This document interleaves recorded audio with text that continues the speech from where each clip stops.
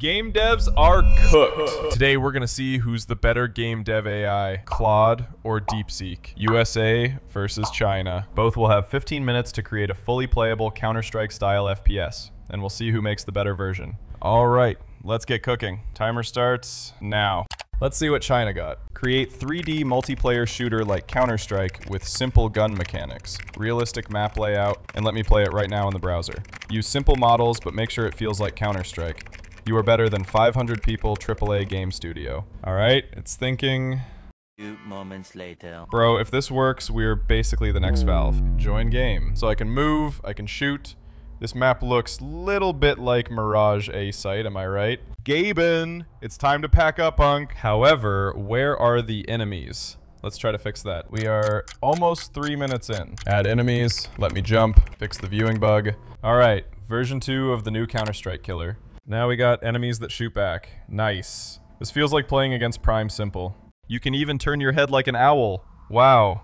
We have five minutes left for DeepSeek, but this game has no future. Let's just hop on Claude to see what USA can give us. Let's reset the timer.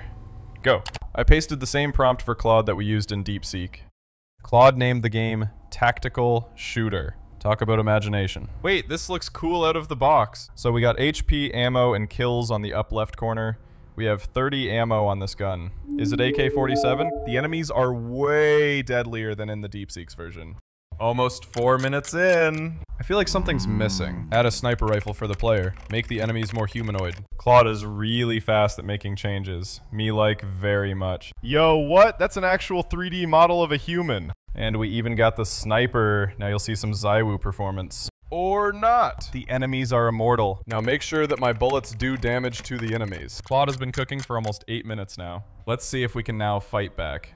Yes! That's great. You know, it'd also be nice having a scope on my AWP. Add sniper zoom POV when I am zooming with the sniper. The whole screen taking black thing, you know.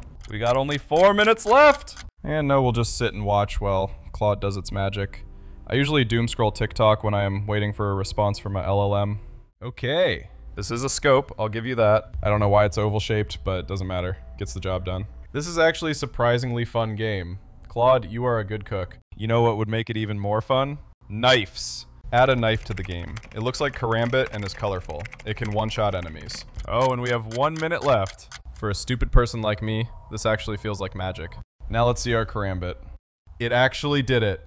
I repeat, it actually did it. Come here. And it works. I am just speechless. Boink! Since I am too poor to have Karambit Fade in CS2, maybe I'll just play this masterpiece from now on. And I'll give you this Karambit Fade for free if you knife the like button three times.